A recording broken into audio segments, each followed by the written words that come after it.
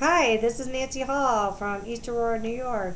Um, I wanted to give you an update on my picture. As you can see behind me, I finished it.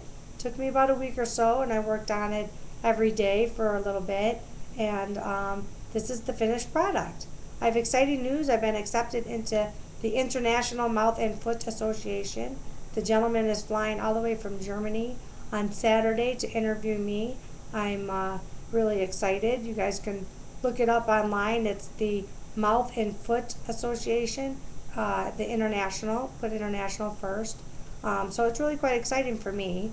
Um, my website is almost back up and running for those that have looked at it before. You guys can look at it. It, it should be up any any time now.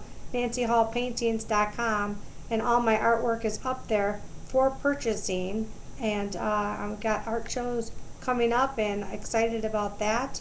And I didn't know if I told you guys, but Jake got accepted into UB, and life has been going pretty decent. So, but I wanted to give you a update on that picture. So if you guys can see it, it's right behind me.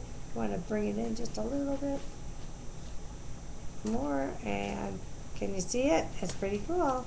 I added a butterfly to it and everything. So God bless. Have a great day, and uh, keep on smiling.